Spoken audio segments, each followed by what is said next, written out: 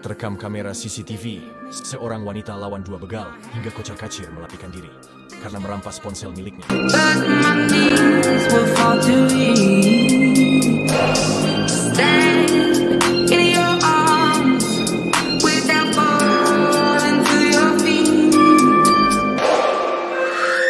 But